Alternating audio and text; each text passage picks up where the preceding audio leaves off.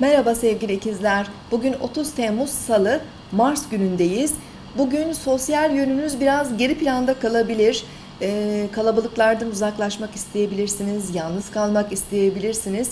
Gün içerisinde özellikle e, işiniz ve maddi konularla ilgili bazı planlar yapmak isteyeceksiniz. Ailenizden e, bazı maddi kaynaklarda destek bulmanız da mümkün olabilir.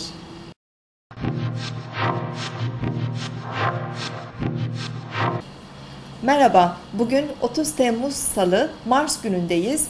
Ay Boğa burcunda ilerlemeye devam ediyor. Sabah erken saatlerde Ay-Mars arasında oluşacak uyumlu açı güne enerjik başlamamıza imkan verebilir. Bugün Yengeç burcunda gezegen yoğunluğu var. Bu gezegen yoğunluğu özellikle ailemiz, evimiz, evimiz, ailemizle ilgili geçmiş konuları veya maddi kavramları tekrar gündeme getirebilir. Öğleden sonra akşam üzeri 18.59'da ay boşluğa girecek. Günün geri kalan kısmında boşlukta olacak. Ee, akşam saatleri aile üyeleriyle bir araya gelmek, ziyaretler yapmak için uygun enerjiler var.